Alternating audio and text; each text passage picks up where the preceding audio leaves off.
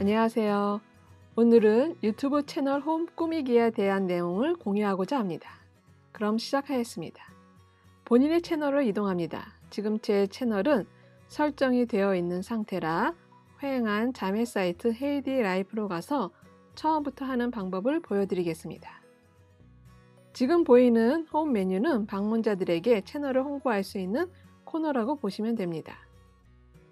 보시다시피 채널로 이동하면 홈 상단에는 channel art와 관련 링크가 있고요. 채널 맞춤 설정과 유튜브 스튜디오로 갈 수 있는 메뉴가 나타납니다. 그 아래로 홈, 동영상, 재생 목록, 채널, 토론 정보라는 탭 메뉴가 있습니다. 구독자 수가 1000명이 넘으면 토론 메뉴가 커뮤니티 탭으로 변경되면서 각종 공지사항과 말 그대로 서로 소통할 수 있는 게시판이 생깁니다. 홈을 누르면 나타나는 재생 목록을 설정할 수 있고요. 여기에 나타나는 것들을 변경할 수 있습니다. 따라서 각 채널마다 보이는 동영상 목록 등이 다릅니다. 그럼 화면 위에서부터 수정하는 방법을 알아보겠습니다. 채널 맞춤 설정 메뉴를 클릭합니다. 이제 채널 아트에 커서를 이동하면 우측 상단에 글쓰기 아이콘이 나옵니다. 거기를 클릭하면 링크 수정과 channel art 수정 메뉴가 나오는데요.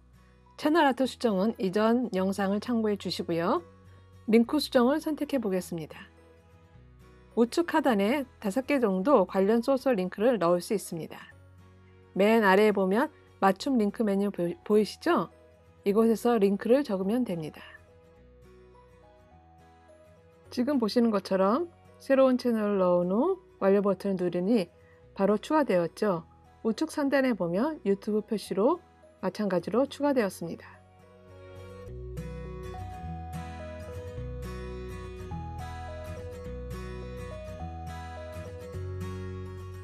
이제 홈 메뉴를 꾸며 보겠습니다.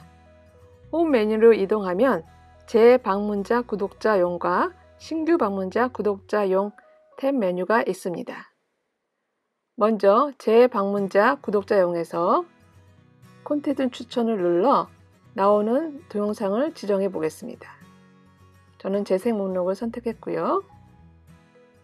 표시되고 싶은 제목을 적어준 후 완료 버튼을 누릅니다.